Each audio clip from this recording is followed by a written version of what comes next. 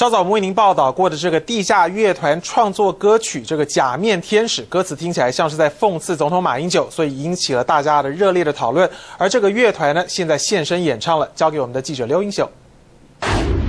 好的，主播，最近网络上被网友拿来讽刺马英九爆红的《Angel》这首歌呢，背后创作的女大学生现身了，来看一下他们的现场表演。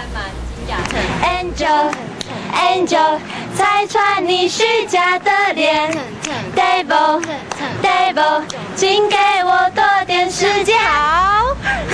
Angel 天使。其实 Angel 这首歌词呢，原本是指女生有天使的脸孔，却未必有好善良的心地。结果呢，被网友拿来反讽马英九，有意外让这几位台艺大国乐系的女学生呢，意外的爆红。不过他们自己倒是很压抑，表示并没有政党倾向，一切都只是有趣而已。以上是目前最新状况，现场时间交换棚内。